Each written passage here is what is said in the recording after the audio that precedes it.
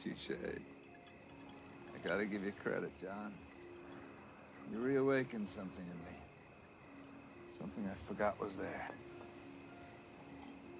And I'll always be grateful for it. Told you. To Cobra Kai. The number one dojo in the valley. I gotta say, I'm surprised you backed off on Nichols in the finals. That's not like you. Well, what can I say? I had a moment of sympathy. That's the first. You remember when you asked me what I thought your weakness was?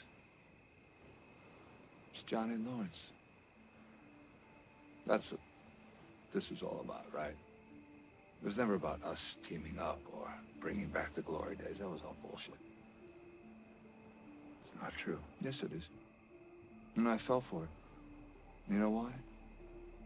Because everyone has a weakness, John. And mine is you. You think that I'm your weakness. Well, you've got it backwards, because I am your strength. I have been your strength ever since Vietnam.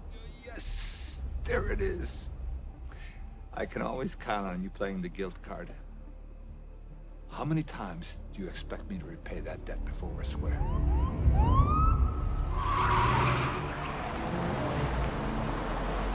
What did you do? It's okay, Raymond. The man who did this can't hurt you anymore.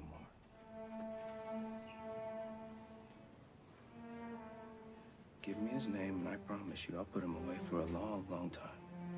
You want to be Cobra Kai, huh? Yes. You want to be Cobra Kai? I'll make you Cobra Guy. But you gotta do something for me.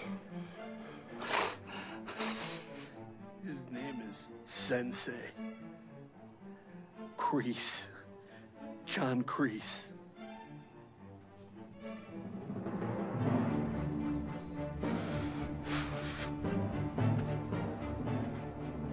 I'm shedding my weakness. Captain. John Kreese, you're under arrest for aggravated assault and attempted murder. You have the right to remain silent. John, what did you do? Hands behind your back.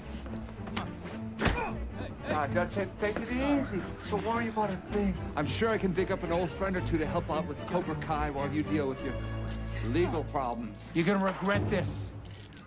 I am